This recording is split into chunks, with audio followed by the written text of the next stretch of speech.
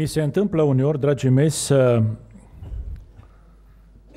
stăm înaintea lui Dumnezeu și fie că suntem provocați de aici de la Învon, fie că ne așa cât un dor să ne vorbească Dumnezeu, să spunem înaintea Domnului vreo două, trei cuvinte într-un fel de rugăciune. Și spunem ceva de genul acesta, vorbește, Doamne, că robul tău ascultă sau robii tăi ascultă. Nu știu când ați făcut înaintea lui Dumnezeu ultima dată această rugăciune. Și poate că ați făcut-o, dragii mei, și poate ați făcut-o cu seriozitate și cu credința că Dumnezeu chiar ascultă rugăciunea aceasta și începe să vă vorbească. Dar v-ați gândit vreodată, dragii mei, că Dumnezeul acesta spre care ne îndreptăm și zicem, vorbește, Doamne, s-ar putea să ne vorbească uneori lucruri pe care greu să le putem purta. V-ați gândit la asta? Aduceți-vă aminte că în Vechiul Testament, un băiat, un tânăr, care se găsea la cortul lui Dumnezeu și căruia Dumnezeu i-a dat târcoale într-o noapte de vreo câteva ori, în final, când a priceput că Dumnezeu este pe aproape, a zis și el așa, vorbește, Doamne, că robul tău ascultă. I-a vorbit Dumnezeu. Dar știți ce a vorbit Dumnezeu? Frații mei, lucruri pe care tânărul acesta s-a temut să le spună mai departe. Dumnezeu din cer a venit și a spus, vreau să pedepsesc casa lui Eli din pricina nelegiuirii copilor lui, de care el are cunoștință și prin care fiii lui s-au făcut vrednici de lepădat. După ce a vorbit Dumnezeu asta, spune Sfânta Scriptură, Samuel s-a culcat mai departe, dimineața s-a trezit, a deschis ușile casei Domnului, dar se temea să spună cuvintele astea lui Eli. Ori Domnul tocmai pentru asta el a descoperit. Spun asta, dragii mei, pentru că poate slujitorii Domnului se roagă mai mult, vorbește, Doamne, sau dă-ne cuvânt, Doamne, sau spune-ne ce să spunem altora. Și uneori s-ar putea că atunci când Dumnezeu ne răspunde la această rugăciune, să ne spună cuvinte care să ne fie greu să le spunem altora. Dar mă rog lui Dumnezeu că ori de câte ori Dumnezeu ne vorbește, să fim dispuși să strângem cuvintele lui Dumnezeu. Chiar dacă ni se par uneori că grele de suportat sau grele de purtat sau grele de spus mai departe. Ele sunt cuvintele lui Dumnezeu care ne sunt de folos, frați și surori. Dumnezeu să vorbească așa cum vrea El să vorbească întotdeauna. În cuvântul lui Dumnezeu din această dimineață ă, este vorba despre trei oameni care în diferite circumstanțe, în diferite împrejurări, stau înaintea Domnului Isus Hristos și spun Cam ce am spus fiecare dintre noi odată în viață, sau cel puțin o dată în viață. Dacă nu toți de aici, poate 99%. Știți ce spun oamenii aceștia? Învățătorule, te vom urma. Vă mai aduceți aminte când ați spus cuvântele acestea sau expresia aceasta în viața dumneavoastră? Vă mai aduceți aminte? Învățătorule, te vom urma.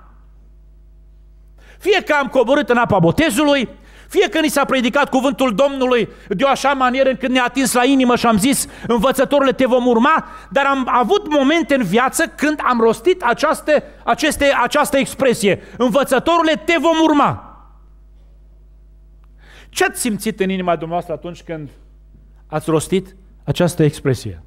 V-ați luat acest angajament. Frați și surori, Ați simțit cumva că faceți ceea ce Dumnezeu așteaptă să faceți? Ați simțit cumva că ce ziceți este pe placul lui Dumnezeu? Și uitați-vă, ceea ce este curios în pasajul acesta este că Domnul Iisus Hristos stă în fața fiecăruia dintre cei trei care, mă rog, își iau angajamentul acesta și în loc să îi bată pe umăr și să le spună asta am așteptat de la voi, Domnul Iisus Hristos ă, zice într-un anume fel, nu-i destul.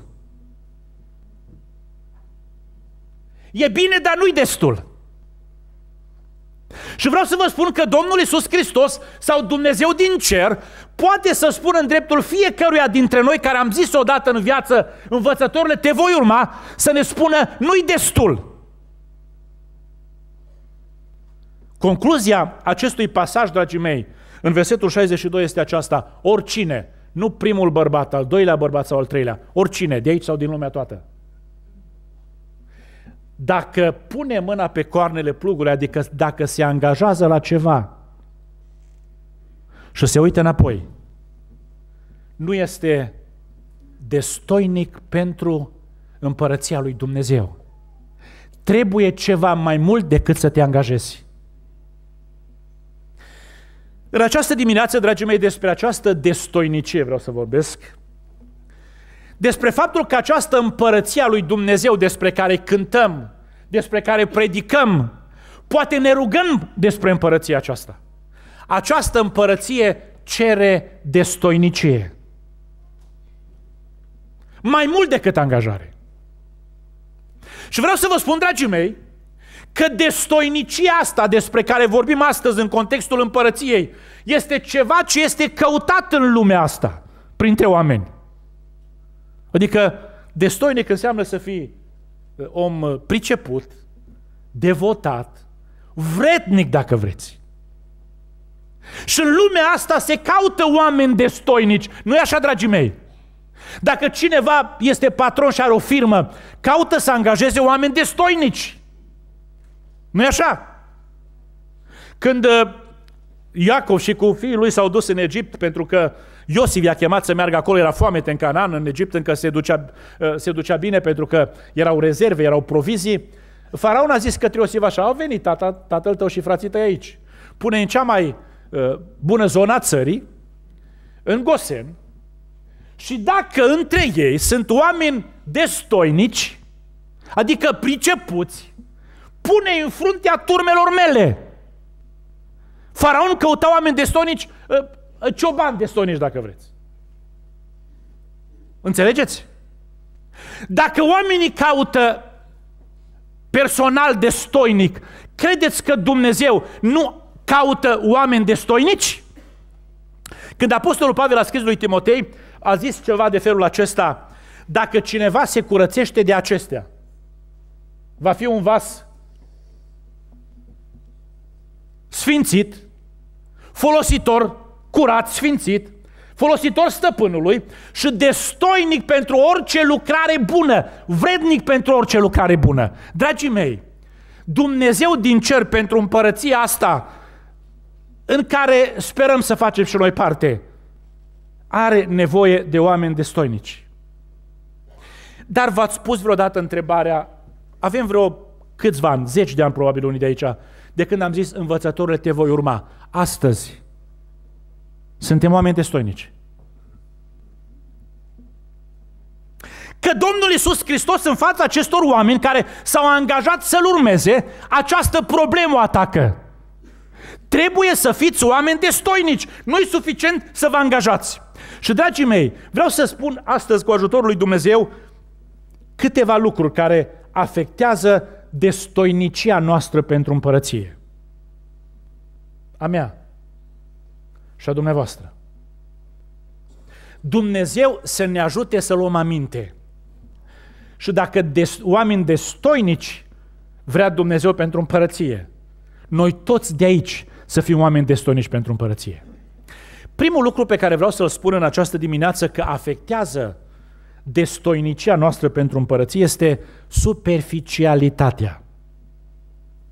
A venit un om la Domnul și a zis, învățătorule, te voi urma oriunde vei merge. În fața acestui om, dragii mei, stătea Fiul lui Dumnezeu coborât din cer, care pătrundea pe dinăuntru, care citește gândurile și inimile. Și a știut Domnul Iisus Hristos cum face omul acesta angajamentul. Vreau să vă întreb, dumneavoastră observați când cineva vă tratează cu superficialitate? Observați? Observați când cineva zice, ă, mă rog pentru tine, dar o zice superficial. Observați asta?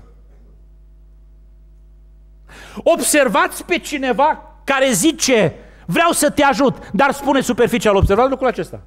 Și nu citiți inima, îl citiți doar pe din afară. Ei, credeți că Domnul Iisus Hristos, care citește inima și mintea și gândurile, nu știe când suntem superficial, dragii mei?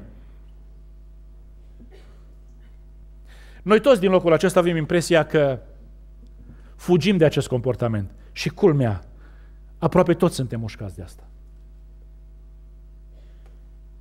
Nu credeți? Muncim superficial? Vorbim superficial unii cu alții? Gândim superficial? Ne angajăm superficial în relație cu alții? Superficialitatea marchează toată existența noastră. Și, dragii mei, culmea și, și durerea mare este că superficialitatea afectează domeniul nostru spiritual. Sau nu credeți asta? Ne pocăim superficial. nu e așa? Cântăm superficial.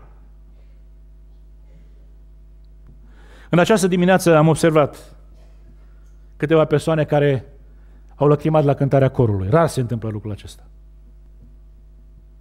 Să dea Domnul să fie cât mai des experiențe de felul acesta. Pentru că de regulă ne pocăim superficial, cântăm superficial, predicăm superficial, ne botezăm superficial, postim superficial. Nu e așa, frații mei? Și zicem că mergem spre împărăția lui Dumnezeu. Ori zicea Domnul Iisus Hristos, cine face așa, de suprafață, de formă, nu este destoinic pentru împărăția lui Dumnezeu. Superficialitatea îi afectează destoinicia. Omul superficial, frați și surori, nu pune în calcul toate costurile. A venit omul acesta la Domnul Iisus Hristos și a zis, angajându-se așa foarte superficial, te voi urma oriunde vei merge. Dar a zis Domnul Iisus Hristos, știi că fiul omului n-are unde să-și așeze capul? Vulpile au vizuini, păsările au cuiburi. Ei, tu când te angajezi, pui în calcul costul ăsta. Dragii mei, a fi în prezența Domnului Iisus Hristos este o mare binecuvântare. Ați experimentat lucrul acesta? Să fii un om binecuvântat pentru că ești în prezența Domnului Isus Hristos. Adică ai harul să auzi cuvinte binecuvântate din gura Lui. El să-ți vorbească. Este o mare binecuvântare. Să ai experiențe cu El. Adică Hristosul pe care îl urmezi în circumstanțele diferite ale vieții, să vezi că intervine să te ajute. E binecuvântarea asta. Au zis ucenicii la un moment dat pe mare când, când uh, aveau impresia că pierd acolo, învățătorule, nu-ți pasă că pierim? Vântul, valurile, pericolul, învățătorule, nu-ți pasă că pierim? Adică suntem cu tine și noi suntem în pericol să pierim aici pe mare. Și Domnul Iisus Hristos se ridică și ceartă vânturile, ceartă marea până aici. Este mare binecuvântare să fii în prezența Lui, nu? Să auzi, să experimentezi, să vezi lucrări extraordinare. Dar, dragii mei, trăirea în prezența lui Isus este și o mare provocare. Nu doar binecuvântare. Înseamnă prigoană, înseamnă suferință, renunțare, înseamnă cruce de dus. Dacă voiește cineva să vină după mine, să-și ia crucea și să mă urmeze în fiecare zi, ei, ai calculat costurile astea când ai zis, învățătorule, te voi urma, coborându-te în apa botezului sau altfel? Dacă n-ai calculat costurile astea, dacă nu le-am calculat, sunt un om superficial. Omul superficial, dragii mei, nu calculează costurile. Dar omul superficial este omul care ceea ce face, face fără inimă. Ați auzit? Poate părinți, ați văzut copiii, când le-a zis, pus să facă ceva, au făcut fără tragere de inimă. Ați văzut asta? Acționează fără tragere de inimă.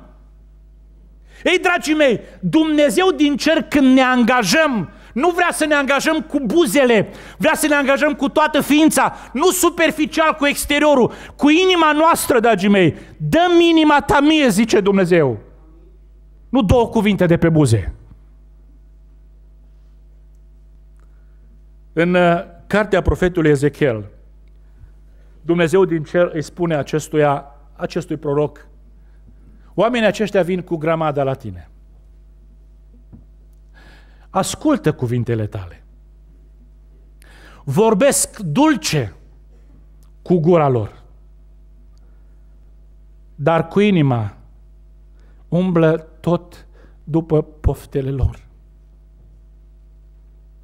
Frați și surori, noi mergem cu grămada de la o evangelizare la altă evangelizare. Suntem încântați să auzim mari predicatori, cum foarte mulți din vremea aceea erau încântați să laudă pe Fiul lui Dumnezeu predicând. Sau alții de pe vremea lui Ezechiel să laudă pe Ezechiel vorbind în numele lui Dumnezeu. Dă inima. Asculți fără inimă. Pentru că inima e în altă parte. E superficialitate.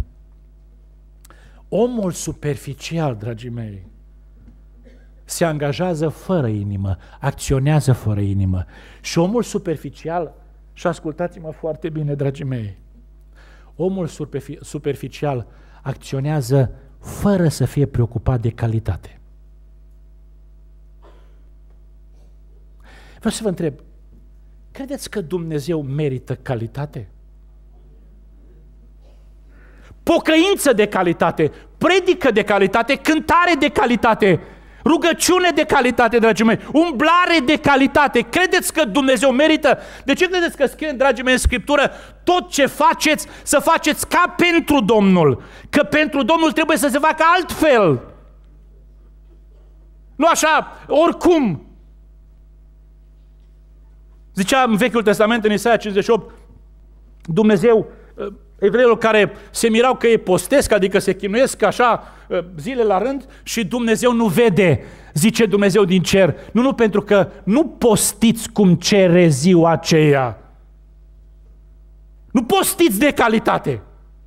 Nu sunteți interesați de calitate, doar să vă abțineți de la mâncare și puteți să vă ciorovăiți, să bateți uh, răutăcios cu pumnul, puteți să faceți orice. Nu, nu, trebuie post de calitate dacă vreți să ajungă la împărăția lui Dumnezeu, la, la, la Dumnezeu. Trebuie cântare de calitate dacă vreți ca Dumnezeu să fie onorat. Trebuie rugăciune de calitate dacă vreți ca rugăciunea să ajungă sus. Dragii mei, primul lucru care afectează destoinicia noastră pentru împărăție este superficialitatea. Dumnezeu să ne ajute să o alungăm din viața noastră. Și tot ce facem, să facem de calitate. Un alt lucru, dragii mei, care afectează destoinicia noastră pentru împărăție este comoditatea. Vă place comoditatea? Să fiți oameni comozi. Adică liniștiți, tihniți, nu? Ei zice Domnul Iisus Hristos că a venit omul ăsta, i-a zis, te voi urma oriunde vei merge, și Domnul i-a spus acestui om, da, da, dar urmarea mea nu este, nu înseamnă o viață comodă. Adică dacă vrei să fii cu mine în orice loc, S-ar putea să trebuiască să fii într-un loc unde n-ai unde să-ți pleci capul. Un slujitor al lui Dumnezeu s-a dus într-o seară foarte obosit acasă, s-a culcat, salteaua confortabilă,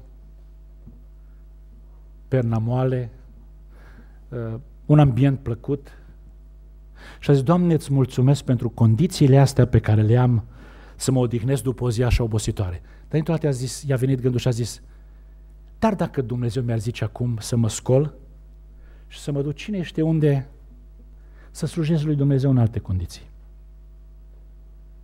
Și a început să depene în minte istorie, istoria lui. Și să zic că am fost în lucrarea asta de slujire în multe țări. Și frații pe unde am umblat au încercat să ne pună la dispoziție ce aveau mai bun. Mâncarea cea mai bună, confortul cel mai bun. Dar confortul pe care puteau ei să ne-l ofere era departe de ceea ce aveam eu acasă. Ce era mai bun la ei, uneori era mizerabil pentru mine. Și ziceam, abia aștept să mă duc acasă, în confortul meu.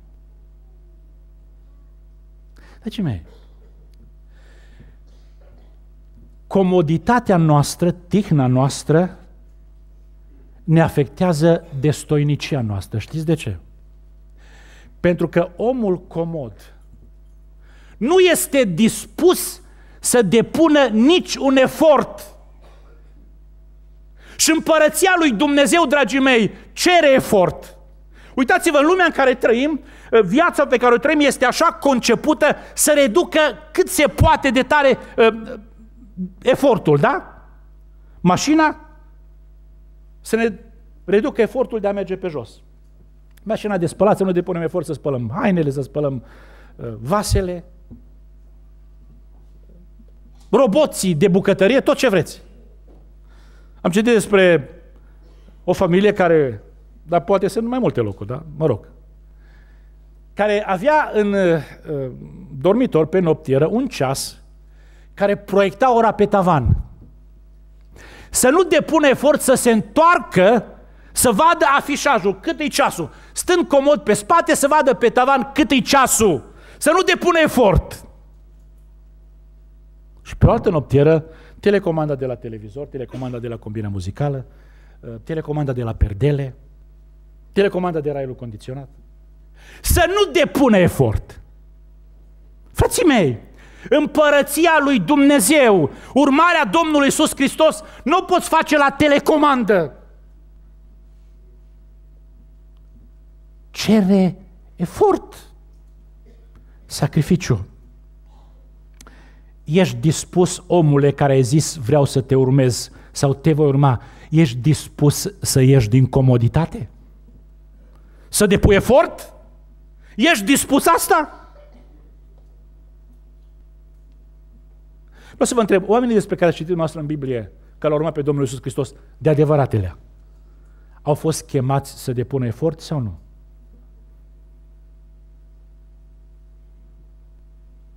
Chiar să-și dea viața.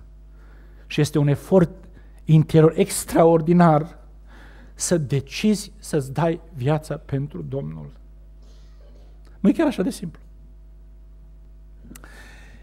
Trebuie să fim dispuși să ieșim din tihna noastră uneori, din comoditatea noastră. Dar e greu să primim cuvântul ăsta lui Dumnezeu, că ne-am obișnuit cu această tihna noastră. E prea obositor să mă rog Domnului. E prea obositor să uh, mă duc la biserică. E prea obositor să mă scol dimineață să citesc din Biblie. E prea obositor. Trebuie să împărăsesc tihna mea. dar mă descalific în destoinicia mea pentru împărăție. Omul comod, nu doar că nu-i dispus să depună efort, omul comod este orientat spre sine. Adică mă duc după Domnul Iisus Hristos, mă angajez, gândindu-mă ce poate face El pentru mine. Fără să mă întreb ce ar trebui să fac eu pentru el? Și dacă mă duc după el, mă duc să-mi rezolve problemele, să mă scoată din necazuri, să-mi completeze lipsurile. Și dacă el într-o zi îndrăznește să-mi ceară ceva, i-am întors spatele. Că mă scoate din comoditatea mea. Dar când îl urmez pe Domnul Iisus Hristos, dragii mei, înseamnă că mi-am pus viața mea la dispoziția Lui și m-am angajat să fac ceea ce îmi cere El să fac, lucruri mici sau lucruri mari. Dumnezeu să ne binecuvinteze. Și poate că un gând, dacă mai apuc să spun în această dimineață, dragii mei, în al treilea rând, un alt lucru care afectează destoinicia noastră pentru împărăția lui Dumnezeu este programul personal. A zis Domnul uneia dintre ei, vino după mine. La mulți de aici Domnul le-a zis, veniți după mine. Știți ce a zis omul ăsta? Da, da, învățătorule, acum am programul meu personal. Am altceva în program. În programul meu este să mă duc să mi-l îngrop pe tata. Ăsta e programul meu. Și spuneți dumneavoastră, dragii mei, dacă noi nu suntem uh, înțepeniți în programul nostru și dacă uh, programul nostru iese bine, după aceea, sau când programul îmi permite. Nu e adevărat. Frații mei, programul personal am ajuns în situația aceasta în care programul personal este înaintea vieții personale. Este înaintea vieții de familie. E adevărat? Programul personal este înainte de orice altceva spiritual, de rugăciune, de părtășia cu biserica. Știți de ce? Pentru că avem impresia că împlinirea programului uh, personal ne va aduce realizări în viață care să ne ducă într-o altă etapă a vieții când să nu mai avem program. Nu e adevărat. Muncim acum de dimineață până seara, că e vreme bună de muncit. Ne țin puterile. Sunt condiții. Și ne facem programul ăsta sau ne-l fac alții foarte aglomerat cu speranța că vom câștiga așa de bine încât într-o etapă a vieții, altă etapă a vieții, nu va mai fi nevoie să fim încadrați într-un program. Ne sculăm când vrem și ne culcăm când vrem și mergem unde vrem. Dar știu pe cineva care a ieșit la pensie și e mai ocupat decât atunci când era la serviciu. Are programul mai aglomerat. Ă, impresia noastră este, dragii mei, că respectarea unui program sau ă, întocmirea unui program așa de aglomerat ne va duce într-o etapă în care vom fi fără program. Fals, dragii mei. Programul este cea mai bună scuză atunci când ceva nu te interesează. A zis un împărat, a zis Domnul Iisus Hristos de fapt, despre împărăția celor care se aseamănă cu un împărat care a făcut nuntă pentru, pentru fiul său. Și a zis împăratul, duceți-vă și chemați pe toți ce invitați să vină, că toate sunt pregătite. Și a zis unul, îmi pare rău, dar am program. Trebuie să mă duc să văd ogorul. Altul a zis, și eu am program. Trebuie să mă duc să-mi încerc boii. Dar de fapt, dragii mei, nu ogorul și nu boi erau problema. Nu interesau.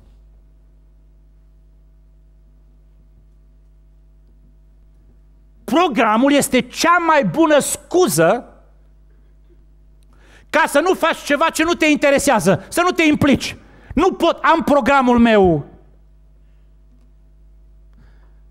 Programul, dragii mei, este cea mai bună metodă de a fi ocupați, de a ne ține ocupați și a nu ne gândi la lucruri foarte serioase.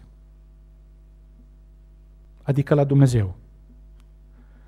În cartea aceasta stă scris în Coloseni, gândiți-vă la lucrurile de sus, nu la cele de pe pământ. Astea sunt trecătoare, celelalte sunt veșnice. Dar programul, dragii mei, este cea mai bună metodă să ne țină ocupați, să nu ne gândim la lucrurile importante. Nu e adevărat asta? A zis faraon la un moment dat, dați-le de muncă. Le-ați adus paie până acum să facă norma de cărămizi, acum nu le mai aduceți paie. Să meargă ei să-și strângă paie, să fie ocupați, să nu le mai umble mintea după năluci. Auziți, frații mei, ce a zis faraon în vremea aceea? A te gândi la Dumnezeu, la libertate, la închinare dincolo de graniță, înseamnă să umbli după năluci. Și împăratul lumii acestea s-ar putea să zică, țineți ocupați. Să nu mai umble mintea după năluci, adică după Dumnezeu, după rugăciune, după părtășie, după slujire. Să nu le mai umble mintea după asta. Că e cea mai bună metodă, programul, să te țină ocupat, să nu te gândești la lucrurile lui Dumnezeu.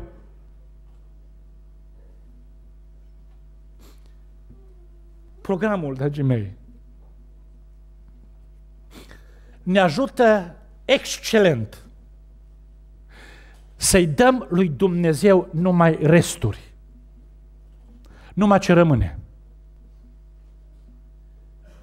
Dacă îmi rămâne puțin timp, mă rog Domnului, dacă îmi rămâne puțin timp, mă duc la biserică.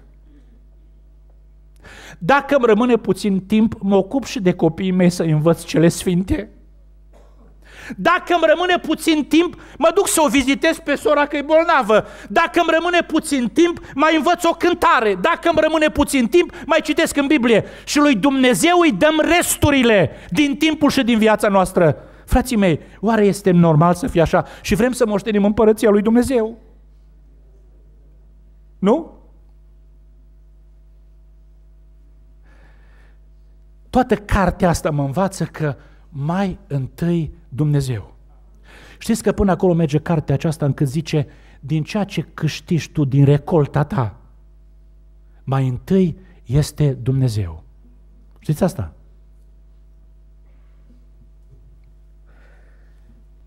Programul ne determină să-i dăm lui Dumnezeu resturi.